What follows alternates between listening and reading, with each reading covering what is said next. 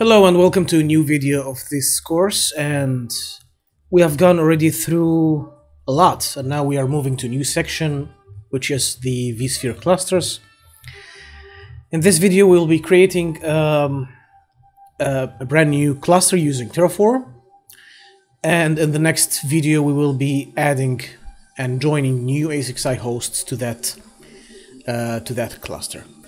Alright, so as usual, yeah, let's go to our working directory and let's make... No, that's too much. And let's make a working directory for uh, the new lesson, so let me call it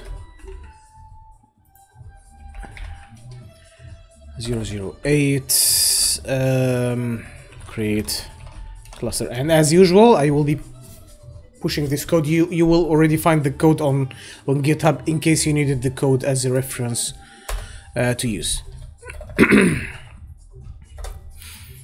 Alright, so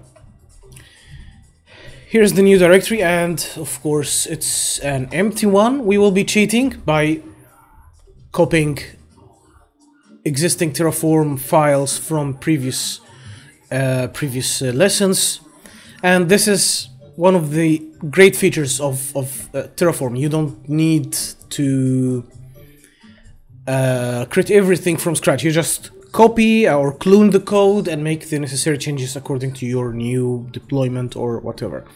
Okay, I'm copying the data, the providers, the variables. We don't need the main. We will be creating a, a new one from scratch. But the common stuff are, yeah, in, in usually in data, providers, etc., etc. Excuse me. Okay, let's clean up first the data that we do not do not use in this lesson. We need the uh, data center. We do not need a data store, to be honest. We don't need a data class, uh, cluster because we are going to create a cluster in this video. No need for a network, no need for a VM. So only the vCenter, uh, the the data center for now and that will be uh, fair enough. All right. Okay. So where to get the code? As usual, let's go to Google and let's say Terraform codes vSphere cluster. Yeah, it's already over there. Let's go to Terraform. Here we go. This is the providers page and this is the reference page for the page for the codes.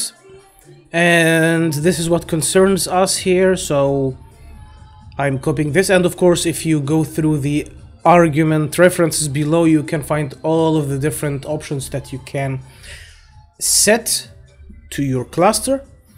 And let me remind you that of course you can import your existing clusters so you don't necessarily yeah if you're going to use Terraform, it doesn't necessarily mean that you're go you're going to deploy a fresh and new uh, vSphere environment. You definitely have your your existing environment that you need to onboard it.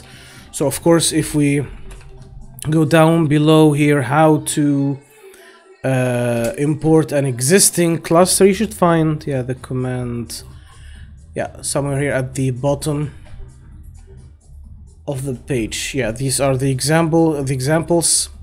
You will figure out your way and then yeah, how to import an existing cluster, but this is not within the scope of of this course, but you know how to.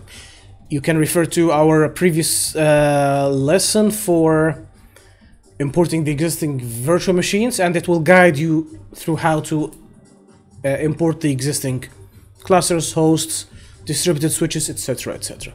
Okay, now I have the code. Let's create... Oh yeah, let's keep this open. Let's create a new main.terra file. Super. So, here we go, and I don't need all of that information here for this for this lesson. I need just the block of code to create a cluster, and that's it. So, the data center, we don't need it, because we already have it in our uh, data file. Uh, we will get to this in another um, in another session. But here, yeah, using this block of code is to import or yeah, join existing ESXi hosts that are already added to your vCenter server, these will be added to the cluster. But in the scenarios that I will be doing in the lab, I will be creating a fresh cluster, a new cluster, brand new cluster. And the next lesson I will be adding ESXi host to vCenter and then add it to uh, the cluster. So all new, new stuff. So let's see my, uh, yeah, all right, here we go. This is my vCenter server and now we have just one cluster. Forget about this. We don't have any other clusters for now. Let's go to the reference page just in case. So let's clean up the, the code here and let's keep only the one or the, yeah, bits that we need. Uh, we don't need that because it's already identified in our data file. We don't need the host at all. So this is to, to fetch data from existing ESXi hosts and this is not our case all. Okay. Let's go. So here we go. This is the code and compute cluster. I will um, leave this as is for now. I don't need to put a label. I'm not interested, honestly. And here, yeah, let's define a name for our cluster. I will put this in, in a variable. Okay, so I will call this var dot var dot uh, terraform underscore cluster underscore name. Okay which is not yet declared.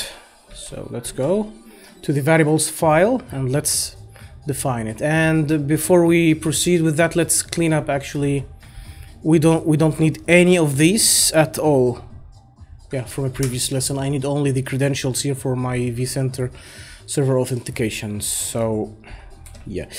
Variable and the variable name is this and the type of course string and the default value let's call it terraform that dash cluster dash yeah dash cluster 04 for example. Uh, 4 right let's save this file let's go back to main and what should we adjust here Okay, the data center ID, this is good. It will be fetched, the information will be obtained from this section over here, from the data.tf uh, file. Host system ID. So this this uh, argument here is used to, to add existing ESXi hosts to the cluster, and I'm not going to do this. So let's remove this for now. Okay, uh, DRS enabled, false. I will do this in a later session. No, false. A false. Yep. DRS, um, yeah, automation, this is irrelevant for now. Let's just comment it just for now. Now I will get back to this later on, okay? And again, the high availability also is set to false. Great. So this is done. The data is file. We need just to reference this. Let's check the uh, providers is fine. I just copied it, so I'm not really... I'm, I, I'm not in a doubt that it will work. It will definitely work. Main... Yeah, nothing else here is missing. So let's try to... Yeah, now, as usual, initi initiate this new Terraform directory. And here I am, so Terraform init. Let's see if it goes as expected. Excellent. And let's perform a Terraform plan and see what happens. Uh, we have errors here, which is fine. Yeah, I needed to save the variables file, which is fine. Yeah, maybe I, I've made changes here without saving it. Now it's saved. So let's run the command once again to check if any. Uh, what is wrong here? Cluster 03 does not is not found. yeah, the, these all were in the data. Okay, let me just go through all of this and save. And also save that we haven't made any changes here, but just in case. We'll run the plan once again and see. Yeah, excellent. So let me expand this here a little bit for you to see. Okay, so it's going to add, it's planning to add one, no changes, no deletions. And let's scroll up here. So it's going to create this cluster with all of these parameters here, data center, etc. Blah, blah, blah. Yeah, DRS is false for now. Excellent. So let's run the, the, let's apply the changes. Terraform, apply. Apply and let's do it uh, auto um, approve but again using the auto approve parameter parameter is not advised at all in production at all. Not not, not advised. I'm just doing it in in uh, in the lab so let's have all right. Let's go. It's going to happen? Let's check here. What's going on? And yeah there we go. The cluster has been created. Excellent. So the cluster has been created. Nice. And with of course with, with the settings that the desired settings. So DRS is turned off. The high availability is still turned off of course. All right. It was very yeah, straightforward and easy to do.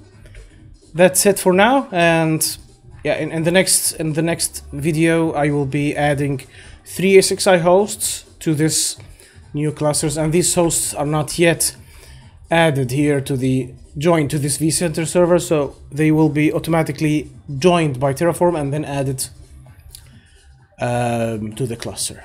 Yeah, that was it. Thank you so much and see you in the next video. Bye bye.